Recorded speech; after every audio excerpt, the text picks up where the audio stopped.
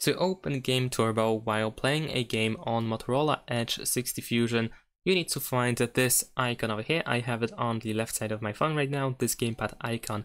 This is the Gametime feature, also known as Game Turbo.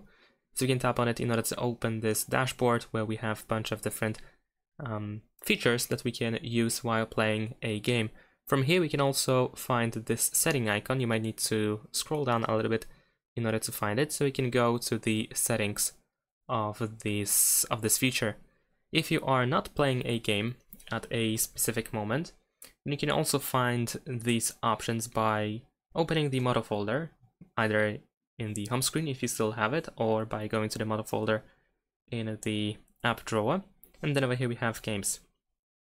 Once you open it, tap on these three lines in the top left corner, and then over here we can go to settings. And that's pretty much it. Thanks for watching, leave a like and subscribe to my channel and see you in my next videos. Bye!